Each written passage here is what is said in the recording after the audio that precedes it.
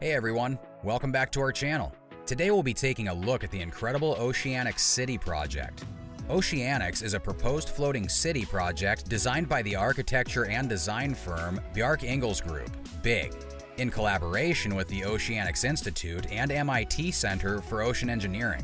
The project is intended to be a model for sustainable, resilient, and livable communities that can adapt to the challenges of rising sea levels and increasing natural disasters. It is an ambitious and innovative solution to the challenges of building on coastal areas, which are increasingly vulnerable to the impacts of climate change such as sea level rise, flooding, and storms. Oceanix City is designed to be a modular platform that can be scaled up or down depending on the needs of the community.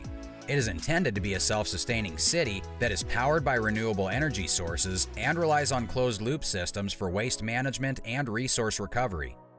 This means that the city will be able to generate its own energy and recycle its own waste, reducing its impact on the environment and making it more sustainable in the long run. The city would be built using advanced materials and technologies, such as floating foundations and breakwater barriers to make it resilient to extreme weather events. This will ensure that it can withstand the challenges of the marine environment and maintain its structural integrity over time.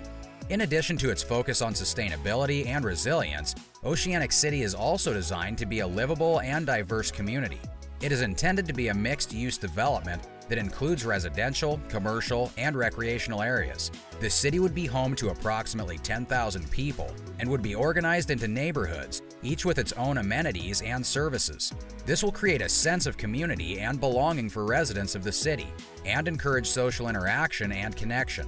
The city will also feature a range of public spaces such as parks, plazas, and promenades, which will provide opportunities for people to come together and enjoy the beauty of their surroundings.